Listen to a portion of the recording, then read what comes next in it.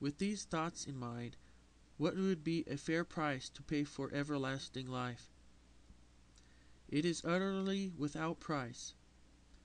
Yet if we trust in our own goodness to enter heaven, we are saying to God, I should enter heaven because I have done good. I have earned my way in. Imagine if you wanted to give me a brand new, very expensive car, but I said, I can't take it. I feel embarrassed receiving such a gift. Here's ten cents for it. I'm sure you would be very insulted by such a pathetic offer of payment. Besides, if I pay for it, it is no longer a gift. It's a purchase. It's mine by right.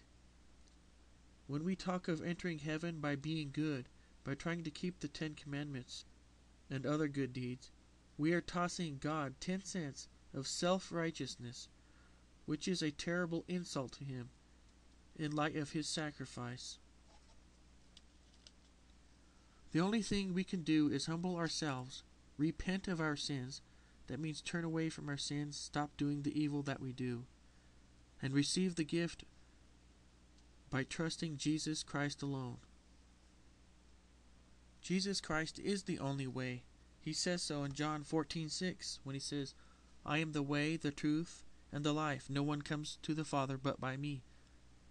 No other religion, no other good deed can allow you access to live with God forever. It is your choice to decide whether you want to live with God forever or to reject Him and suffer all of eternity in hell. Almighty God de- demonstrated how much He loves us when Jesus suffered for you and I on the cross. If you want to trust in your own goodness, then you are saying His agonizing death on the cross was in vain. The Bible says, For by grace you are saved and through faith, and that not of yourselves, it is the gift of God. You cannot earn a gift. When Jesus said to believe on him, he was saying we should have faith in him. In the same way, you should trust a parachute to save you when you jump from a plane.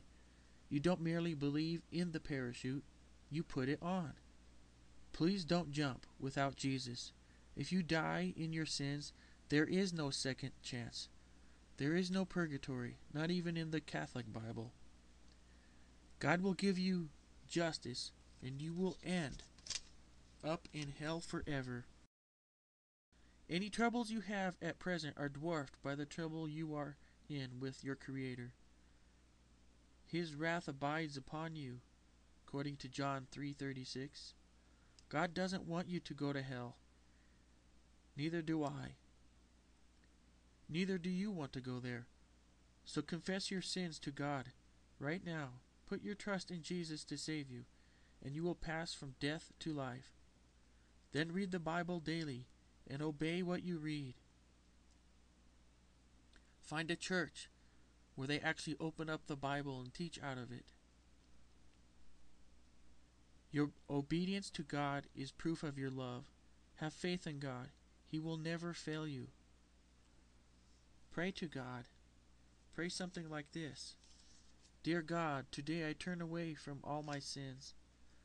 Name your sins. Look at the Ten Commandments as listed in Exodus 20 to help you with this.